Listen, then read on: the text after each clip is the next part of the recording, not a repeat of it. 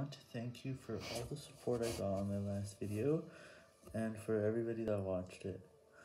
And I'm so lucky that I got hundreds of views out of it, but I'm sorry to say that a new goal of 100,000 hits will be started on February 21st, and if I reach it, it will be over.